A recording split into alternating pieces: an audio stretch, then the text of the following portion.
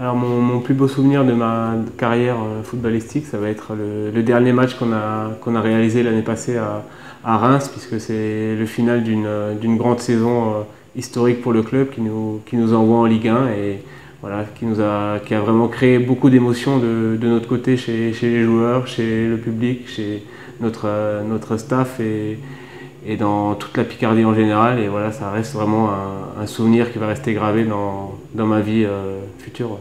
Si vraiment j'ai un message à faire passer aux, jeunes, ce sont les, notions qui me caractérisent aussi un petit peu, euh, de, travail et, de respect, que ce soit dans, le football ou, dans la vie en général. Et il faut toujours respecter euh, les autres, ce qu'on fait, et travailler pour, euh, pour réussir. Et je pars du principe qu'on n'a jamais rien sans rien. Donc, donc voilà, ce message à, à faire passer, c'est bien.